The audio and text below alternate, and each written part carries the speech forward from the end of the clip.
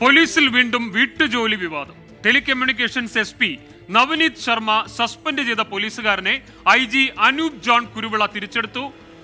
ആളില്ലാത്ത സമയം വീട്ടിൽ കയറിയെന്ന പേരിലാണ് എസ് പി ഗൺമാനെ സസ്പെൻഡ് ചെയ്തത്. എന്നാൽ വീട്ടുനായയെ കുളിപ്പിക്കാത്തതായിരുന്നു യഥാർത്ഥ കാരണമെന്നാണ് ആക്ഷേപം. ഇത് ഈ ആക്ഷേപം ഉയർന്നതോടെയാണ് ഐ ജി ഇടപെട്ടത്. ഷഫീദ് റാവുത്തറുണ്ട് തിരുവനന്തപുരത്ത് നിന്ന് വിശദ വിവരങ്ങൾ നൽകാൻ. ഷഫീദ് വീണ്ടും പോലീസ് സേനയിൽ വീട്ടുജോലി വിവാദം. ഇടയ്ക്ക് വലിയ വിവാദം ഉണ്ടാവുകയും പിന്നീട് ഇത് പ്രത്യേക ഉത്തരവ് അനുസരിച്ച് നിർത്തുകയുമൊക്കെയായിരുന്നു. എന്നാൽ ഇപ്പോഴും ഇത് തുടരുന്നു എന്ന സൂചനയാണ് നമുക്ക് ഇപ്പോൾ ലഭിക്കുന്നത്. വിശദാംശങ്ങൾ.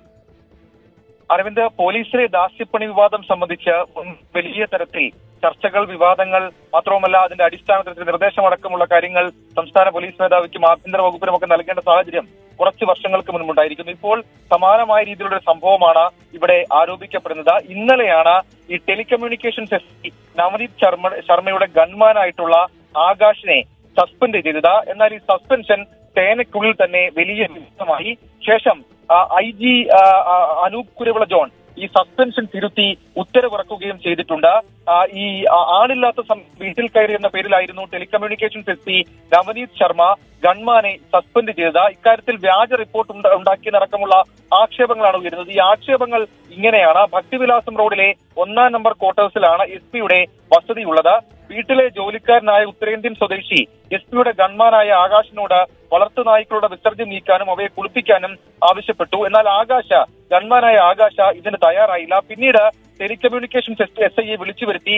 എസ് പി നവനീത് ശർമ്മ ഗൺമാനെതിരെ സ്പെഷ്യൽ റിപ്പോർട്ട് എഴുതി വാങ്ങിയെന്നാണ് ആരോപണം. ഡ്യൂട്ടിയിലില്ലാത്തപ്പോൾ എസ് പിയുടെ വസതിയിലേക്ക് കയറിയെന്നും ഇലക്ട്രോണിക് ഉപകരണങ്ങൾ പ്രവർത്തിച്ചെന്നുമായിരുന്നു ഈ റിപ്പോർട്ടിൽ പറഞ്ഞിരുന്നത്. എസ് പി തന്നെ എസ് ഐക്ക് പറഞ്ഞുകൊടുത്ത റിപ്പോർട്ട് എഴുതിച്ചെന്ന ആക്ഷേപമാണ് ഇപ്പോൾ ഉയർത്തുന്നത്. റിപ്പോർട്ടിന്മേൽ നവനീത് ശർമ്മ തന്നെ സസ്പെൻഷൻ ഓർഡറും പുറത്തിറക്കി. എന്നാൽ സംഭവം സംസ്ഥാന പോലീസ് മേധാവിക്ക് മുൻപിൽ മണിക്കൂറുകൾക്കകം ഈ പരാതിയായി എത്തി.